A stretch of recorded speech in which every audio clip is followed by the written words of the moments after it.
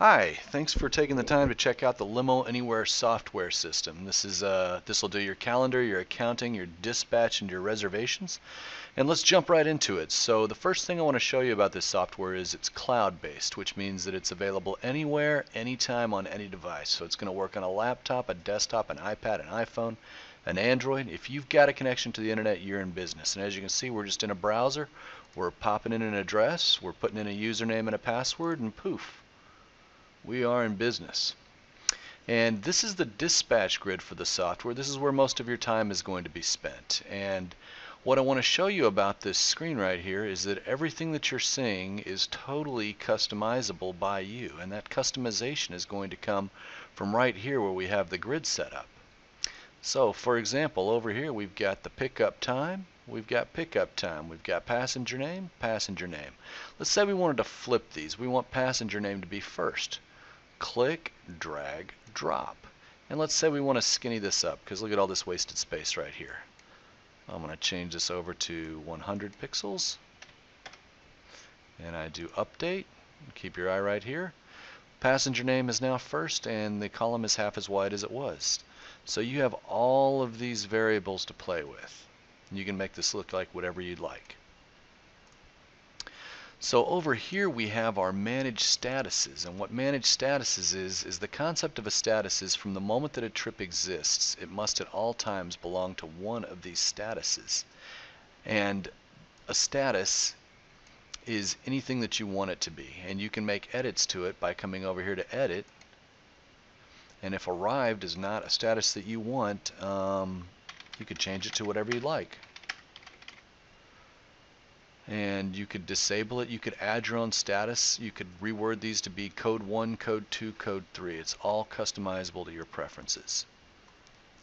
So something else I want to show you about the dispatch grid is right over here we've got the flights information. So I got my flight scheduled time, my flight's actual time, as well as the gate and the terminal that it's going into.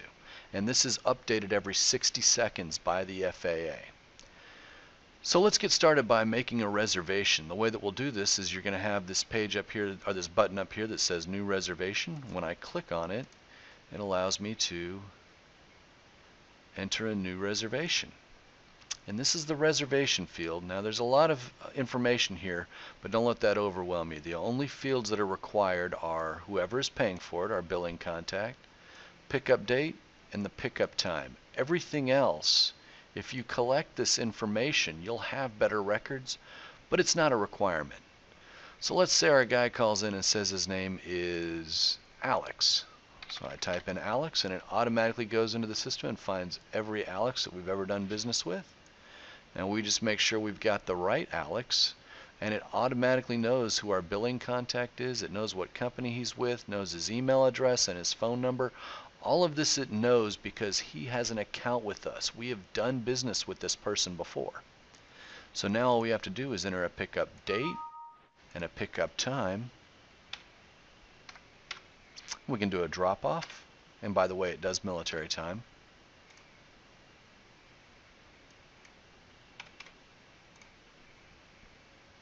And uh, over here, this is part of our FAA interaction. So our person Alex over there tells us he's coming into DFW Airport and he's coming in on American Airlines and the flight number is 1.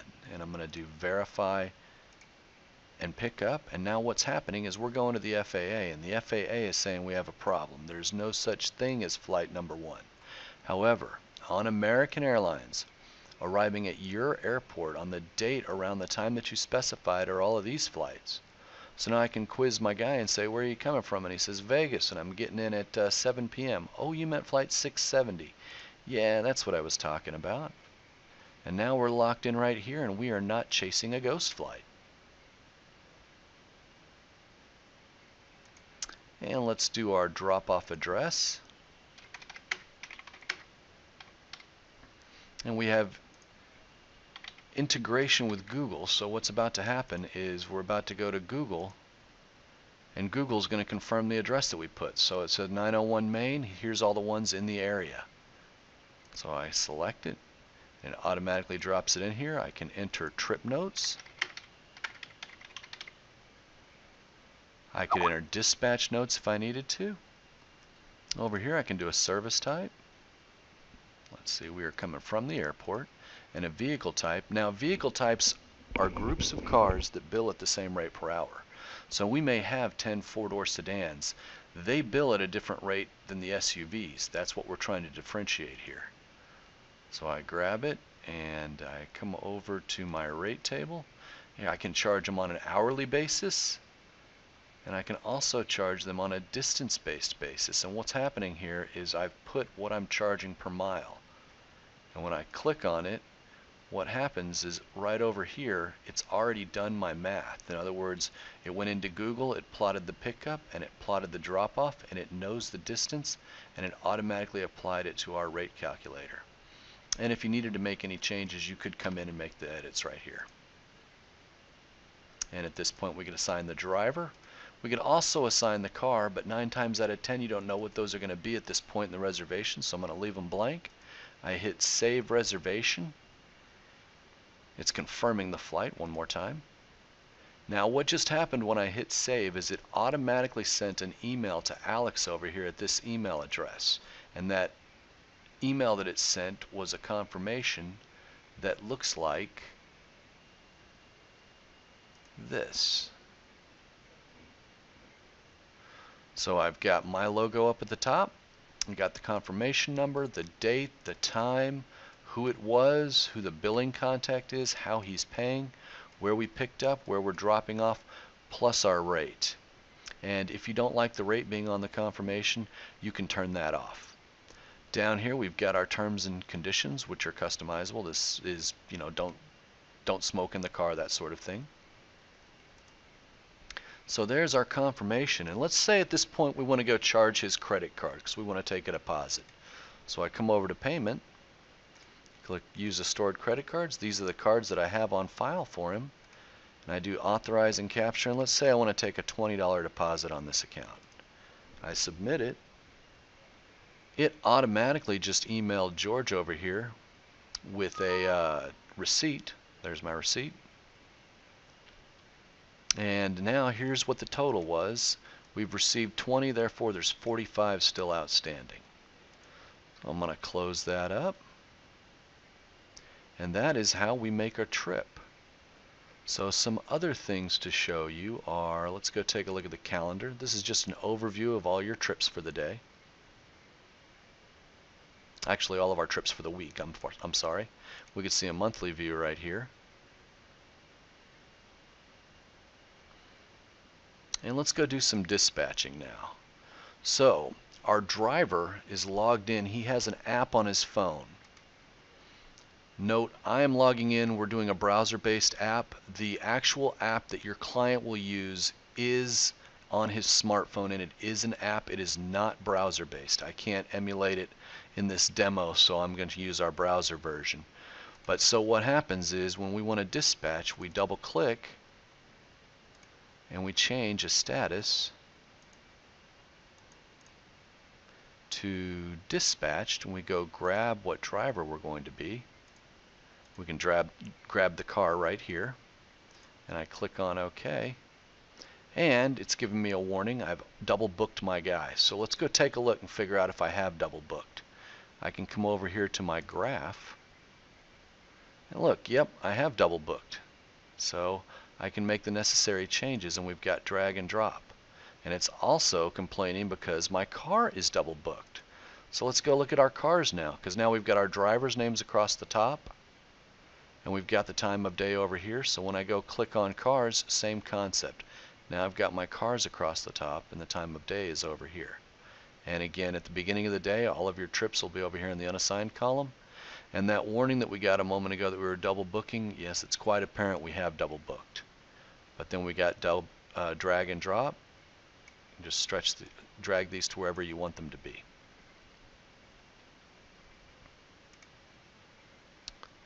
So let's uh, let's do our dispatch again. Or actually, we already have done it. So let's go see if we got a trip. Oops, I guess that I am not logged in as Dez here. I think I'm logged in as Mo.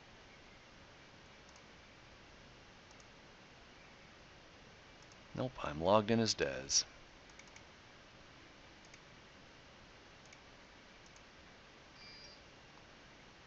Okay. There we go. There's our trip. So our trip is for Austin Powers, and we can see our pickup over here and our drop off at the airport, and we can view details. And first thing we have to do is we can accept or reject the trip. When we accept it, we click on accept, and over here, this is going to turn green as soon as we update. So this will refresh every 60 seconds and it turns green. If you would have rejected it, it would turn red. What you're really concerned with are the gray ones. That means that he has not acknowledged it. So either he's asleep or his phone's dead, something's wrong, and you've got to find a plan B and figure out who's going to do this trip. And as your driver is doing the trips, he can update his status. And so when he's on the way, he clicks on on the way. And over here, when we refresh, and again this will refresh every 60 seconds, we're going to notice the colors changed. It was green, now it's blue, and the status is on the way. So at a glance, you're going to know what your drivers are doing at all times. And at the end of the trip, your driver can summarize the trip, uh, add a tip. Uh, I'm sorry, he takes his trip, or he takes his phone, hands it to the passenger in the back seat. The passenger can add a tip and then do a signature capture and then it'll automatically charge the credit card. Also, when we click on our GPS button, what we're doing here is we're tracking the GPS inside of your driver's smartphones. So this will have a map of all of your cars driving around and what their status is. So here's my driver and his status is he's in the middle of a trip so he's not available. So let's go check out the Limo Anywhere network. We have 4,200 companies using us worldwide. These are all of the countries where we have customers. And I click on the United States and it takes it a while to load here because there's a ton there. And then I've got all my states here. Let's go take a look at New York. So there are 15 per page as you can see right here. We've got 41 pages of companies just in New York alone. And we can come over here to view. Here's all of our information on this company. Here's what their company names. Uh, here's what website, you can go look at their website. Here's what their cars look like. Um, any text they want to add. Here's the airports that they say that they service. The guy over there's name is Amin. There's his phone number. And if you come to an agreement with this guy, you can establish an affiliate relationship, and now you guys can push trips back and forth between each other inside the software. So this is also going to generate business for you. So let's go take a look at the accounting section. So here is our settlement screen, and what this is, is this is your checks and balances system to make sure that you get paid on every single trip that you do. And if everybody with your company did their job correctly, at the end of the day, we're going to put a check in this box and all of these are going to load with checks. Right now I've got one that will not take a check and that means I got a problem. My problem is the trip is done. We delivered our passenger Harry.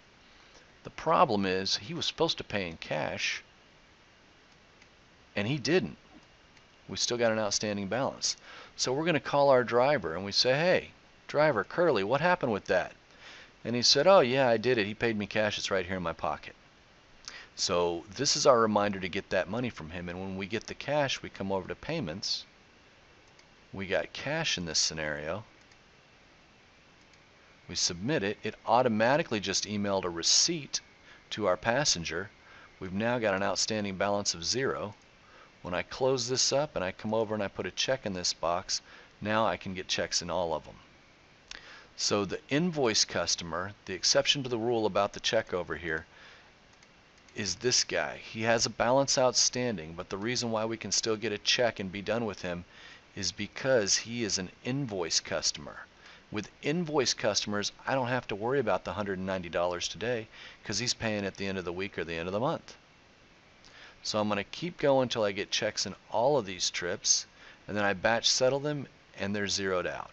When they're zeroed out, my day is done, I get to go home.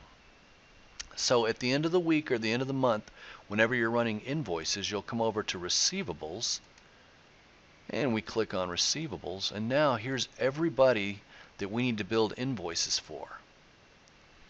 So I come over to this company and I double click and there's three trips that I've done for him since the last time I built invoices. I'm going to add all three of these trips to one invoice and this is what my invoice looks like. When I hit save changes it automatically just emailed our billing contact Doug and now when Doug sends me a check I'm going to come over to receive payment and Doug sent me a check in our pretend scenario here, and the check was for 1605.39. I'm going to apply it to this invoice. I do save payment. Now Doug Evil has dropped off of our list. He's no longer there. And if you ever want to see a list of your problem people, you can go over to Outstanding Invoices. These are all your past dues. These are the guys you need to get on the phone. Payables works in exactly the same way, only now we're taking care of your drivers, your affiliates, and your agents. And what an agent is, is that is like a concierge or a travel agent or anybody who you tell them, anyone you send my way, I'm going to pay you $5 a head. So then you can run a nice invoice and it'll show all 10 people that he referred to you and how much you owe them and they'll know you're taking good care of them. Reports, once we have the data in here, we can slice and dice this any way you want to see it. We can select a date range. We can do it by your customer. We can do it by payment method. More importantly, payment status. You can do it by driver, by affiliate. You can see what marketing is working for you and we can output it as a web page or as an Excel spreadsheet. Something else to show you is right over here. This is a universal search field. We can search by phone number, name, pretty much anything unique this is going to find it. So when somebody's calling you, that's what you'll do is you'll automatically type in their number right here and it'll automatically find them. So that is an introduction to the Limo Anywhere software. Please give us a call at 888-888-0302 and hit extension 1 for the sales department and we would love to talk to you and explain to you in more detail. Um, look forward to talking to you. Thanks.